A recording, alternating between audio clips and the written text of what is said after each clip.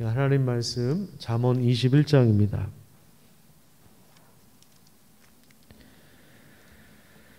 잠언 21장 15절에서 마지막 31절까지 말씀을 어, 한 절씩 교독하도록 하겠습니다.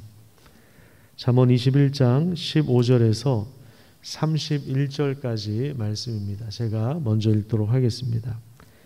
정의를 행하는 것이 의인에게는 즐거움이요 죄인에게는 패망이니라. 연락을 좋아하는 자는 가난하게 되고 술과 기름을 좋아하는 자는 부하게 되지 못하느니라.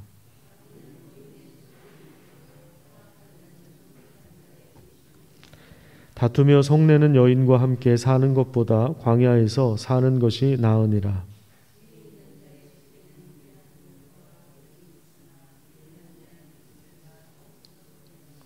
공의와 인자를 따라 구하는 자는 생명과 공의와 영광을 얻느니라.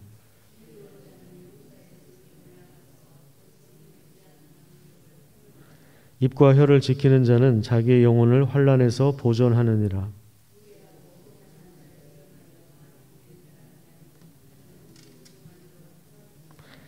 게으른 자의 욕망이 자기를 죽이나니 이는 자기의 손으로 일하기를 싫어함이니라.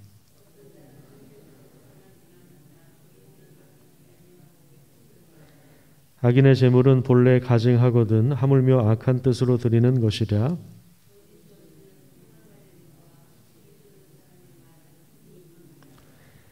악인은 자기 얼굴을 굳게 하나 정직한 자는 자기 행위를 삼가느니라.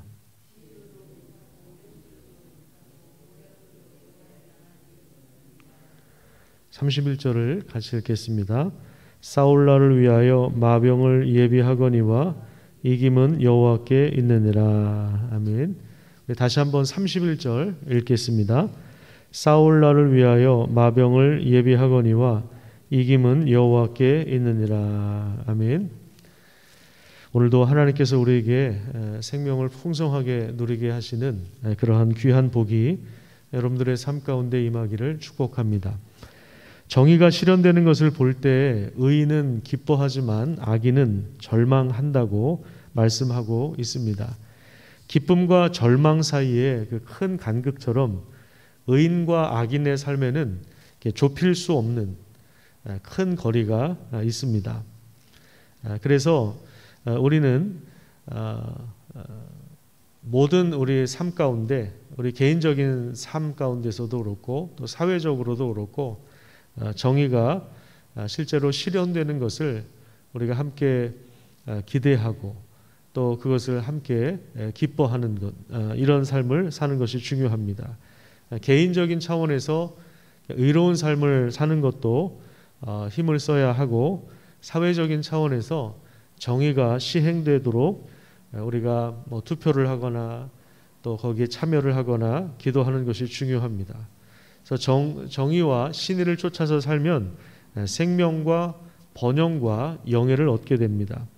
본문 21절에 보면 공의와 인자를 따라 구하는 자는 생명과 공의와 영광을 얻는다. 하지만 반대로 아, 악을 행하는 사람, 그 죄인들, 의로움에는 관심이 없고 정의로운 것에는 관심이 없고 아, 자신의 욕망을 위해서만 살아가는 사람들은 결국에 심판이 임하는데요. 18절을 한번 보세요. 18절에 보시면 악인은 의인의 속전이 된다. 이런 표현이 나오는데 그래서 속전은 속죄금을 말하는 겁니다. 속죄금 대신 치르는 몸값을 말하는 거죠. 이건 좀 이해하기가 힘든 말이긴 한데요. 아주 간단합니다. 악인들만 특별히 심판을 받는다. 그런 얘기예요. 18절 말씀 옆에다가 그렇게 적어 놓으시면 돼요. 속, 어, 속전이라고 하는 것은 속죄금이라고 하는 말인데 아, 이거는 악인들이 아, 특별히 심판을 받는다. 이렇게 결론을 내리고 있습니다. 아, 또 16절에 보면 명철을 떠난 것은 곧 죽음이에요. 그래서 이제 명철은 바른 판단력을 말하는 것입니다. 또한 하나님이 주시는 불을 질서 없이 막 사용하는 것, 아, 이런 사람은 결국 마지막에 비참한 삶을 살아갈 수밖에 없습니다. 그래서 여기 17절에 보시면 연락을 좋아하는 자는 가난하게 되고 술과 기름을 좋아하는 자는 부하게 되지 못한다. 날마다 잔치를 벌이고 그러니까 하나님이 주신 그 시간과 또 부와 우리에게 주신 그 은혜들을 그냥 무질서하게 낭비하는 그런 삶을 살아가는 사람들을 말하는 거예요. 지혜로운 사람은 값진 보물과 기름을 잘 간직하고 누리지만 미련한 사람은 재산을 다 탕진하여 버리는 것입니다. 자, 그 다음에 19절에 보면 다투면서 성내는 여인과 함께 사는 것보다 광야에서 사는 것이 훨씬 더 낫다. 이렇게 말씀하고 있습니다. 아, 사실 이 광야는 고독하고 쓸쓸한 곳이죠. 광야에 혼자 있고 싶은 사람이 누가 있겠습니까? 아, 그런데 차라리 아, 이런 곳에 혼자 사는 게 더 낫다는 거예요. 자연인 같은 걸 보면은 제가 볼 때 정상적인 삶을 살았던 사람들이 거기 오는 경우는 거의 없습니다. 사람에게 실망했거나 큰 상처를 받았거나 뭔가 사업에서 크게 실패했거나 그래서 죽으려고 하다가 여기 와서 죽자 또 큰 병을 얻었거나 이랬던 분들이 오시는 오는 거잖아요. 그죠? 사실 혼자 사는 게 뭐가 좋아요. 어, 그런데 차라리 사람들 안 만나고 혼자 있는 게 더 낫다 해서 이제 오신 분들입니다. 여기도 이제 그런 의미예요. 광야에서 사는 사람, 광야는요 정말 고독한 곳이죠, 쓸쓸한 곳이죠. 여기서 사는 것이 뭐가 좋습니까? 그런데 차라리 다툼 있는 것에서 사는 것보다는 광야에서 혼자 사는 게 더 낫다. 이렇게 이야기합니다. 무슨 얘기입니까? 진실하게 사는 법을 진실하게 사랑하는 법을 배우지 못하면 삶이 굉장히 비참해진다는 것입니다. 지혜로운 사람은 또한 용사들이 올라가는 아, 성에 올라 용사들이 지키는 성에 올라가서 아주 튼튼하게 쌓아 올린 요새라 할지라도 아, 그것을 무너뜨리는 능력이 있습니다. 22절에 보시면 지혜로운 자는 용사의 성에 올라가서 그 성에 의지하는 방벽을 헐어냅니다. 또한 지혜롭게 자신의 입술을 지키는 사람은 역경 속에서도 자신의 목숨을 지킬 수가 있습니다. 교만하고 건방진 사람은 무례하게 행동하지만 그는 결국 스스로 패망의 길을 걷는 자입니다. 또한 게으른 자의 욕망은 결국에 자기를 죽입니다. 어떤 일도 자기 손으로 어, 수고하려 하지 않기 때문입니다. 하나님을 신뢰하는 의인은 아낌없이 나눠주는 삶을 살아갑니다. 또한 위증하는 사람의 증언은 결국 가치 없이 사라지지만 진실한 사람의 증언은 채택됩니다. 그래서 정직한 사람은 자기의 행실을 살피고 성찰합니다. 아, 또한 마지막 30절, 아, 31절에 보면 그 어떤 지혜도 그 어떤 명철로도 하나님을 당해낼 수 없다. 무슨 말입니까? 하나님의 지혜가 최고의 선이라는 그런 말입니다. 그 인간의 그 집단 지성을 다 모아놓는다 할지라도 어, 결국에 하나님의 지혜를 담아놓을 수가 없, 당해낼 수가 없다라는 것이죠.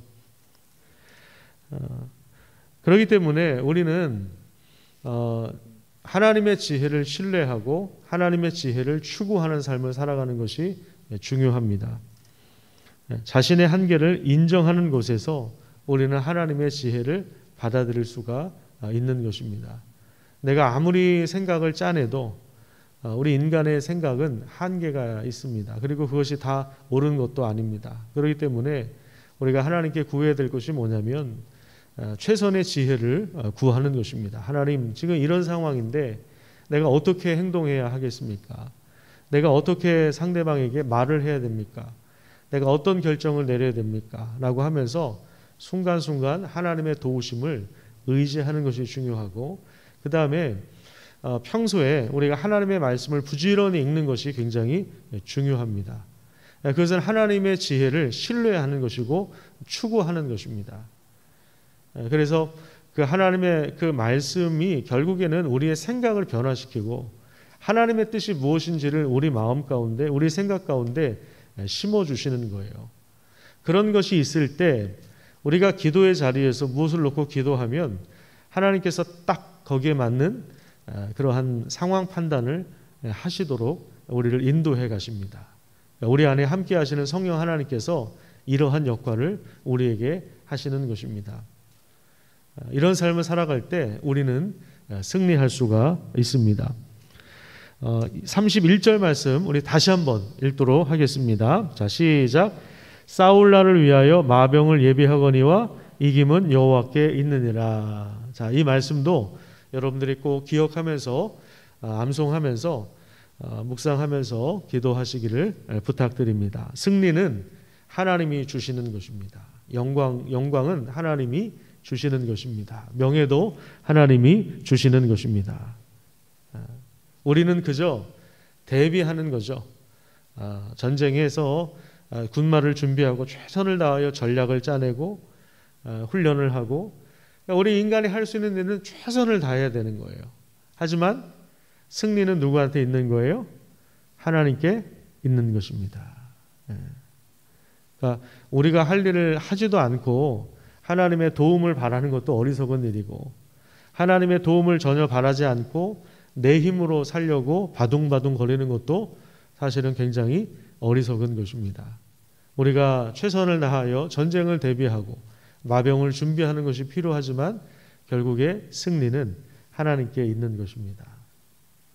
이 사실을 우리가 겸손하게 인정하면서 결국 이 말씀이 1절 말씀과도 깊은 연관성이 있어요. 어제 이제 살펴본 대로 왕의 마음이 하나님의 손에 달려 있다. 하나님이 임의로 인도하신다. 이거 하나님의 주권을 강조하는 거잖아요. 1절 말씀과 마지막 이, 이 구절도 아주 긴밀한 연관성이 있는 것입니다. 온 세상을 아, 임의로 주관하시는 그 하나님을 의지하고 아, 그 하나님께 승리가 있다는 사실들을 우리가 기억하면서 하나님 앞에 오늘도 우리 삶을 맡기십시오. 우리가 할 일 최선을 다하겠지만 그 그거 다 맡기세요. 뭐 자녀 문제, 경제적인 문제, 우리 삶의 문제 하나님 앞에 맡긴다는 거는 내려놓는다는 거지 내팽개치는 게 아니에요. 내팽개치는 거는 에라 모르겠다 될 대로 되라 이런 이게 내팽개치는 거고 내려놓는다는 건 뭐냐면 하나님을 신뢰하니까 하나님의 손에 의탁하는 거예요. 그게 이제 내려놓는 겁니다. 여기에서 이제 그 평강이 찾아오는 거예요. 마음속에 평강이 찾아오는 거예요. 하나님께 내려놓고 맡기는 삶을 살아가는 사람은 평강을 누려요. 왜? 어차피 승리는 하나님께 있는 거니까. 내가 마병을 준비하지만 승리는 하나님이 주시는 거니까. 하나님께 맡기는 거죠. 그런데 하나님께 맡기지 못하면 뭐가 올라오냐면 불안, 불안이 계속 올라오는 거예요. 불안이 계속 올라오는 겁니다. 이게 이제 결정적인 차이입니다. 스데반 같은 경우는 돌에 맞아 죽는 극한의 상황 아닙니까? 그죠? 여러분? 돌에 맞아 죽는다는 게 얼마나 고통스럽겠어요. 그런데 자신의 생명까지도 하나님께 의탁하는 거예요. 그럴 때 어떻게 됩니까? 주여 내 영혼을 받아주십시오. 저들을 용서해 주십시오. 이렇게 하나님께 자기 생명까지도 내어막 이게 순교라고 하는 것은 머리띠 두르고 일사각오의 정신으로 하는 게 아니라 이 깊은 평안 가운데 있는 사람들이 자기도 모르게 하는 게 순교예요. 그죠? 예, 예, 하나님이 주시는 가장 큰 복입니다. 어차피 우리 인생 하나님께 달려 있는 거 하나님께 맡기는 복된 하루가 되기를 축복합니다. 기도하겠습니다. 하나님 감사합니다. 오늘 이 새벽에도 우리를 깨워 주시고 불러 주심을 감사드립니다. 잠언 말씀을 통하여 참된 지혜를 얻게 하여 주시고 우리 삶 가운데 최선을 다하여 정의를 행할 수 있도록 도와주시고 하나님이 주신 불을 지혜롭게 잘 사용하고 가난한 사람들과 나누게 하여 주실 뿐만 아니라 또한 그 어떠한 사람의 생각과 지혜와 명철로도 하나님의 지혜를 당해낼 수 없기 때문에 자신의 한계를 인정하고 하나님의 지혜를 받아들일 수 있도록 인도하여 주시옵소서. 하나님 다툼이 있는 곳에서 사는 것보다는 차라리 고독하고 쓸쓸한 곳에 혼자 사는 것이 낫다고 했는데 우리 우리 삶 가운데 진실하게 사랑하는 법을 배울 수 있도록 도와주셔서 우리가 아, 함께 더불어 살아가는 그 즐거움을 누릴 수 있도록 하나님께서 은혜를 더하여 주시옵소서.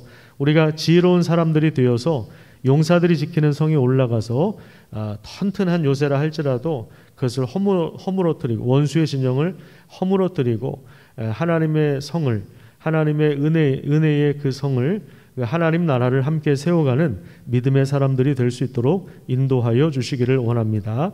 하나님 또한 승리와 영광은 하나님께 있음을 고백합니다.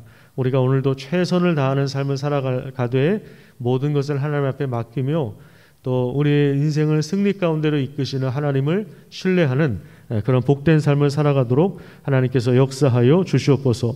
오늘도 이렇게 현장에 나와서 또 온라인에 이름을 걸고 이름을 올리고 하나님 앞에 기도하는 우리 성도들을 기억하여 주시고 하나님 우리의 기도 가운데 함께하여 주시고 우리가 기도할 때 하나님께서 오늘도 개입하여 주시고 능력을 베풀어 주시고 문제를 해결하여 주시고 또한 우리 한 사람 한 사람 만져 주셔서 치료하여 주시고 회복시켜 주시고 우리 삶 가운데 하나님의 뜻을 오늘도 분명하게 새겨 주시옵소서 감사드리며 예수님 이름으로 기도드립니다. 아멘.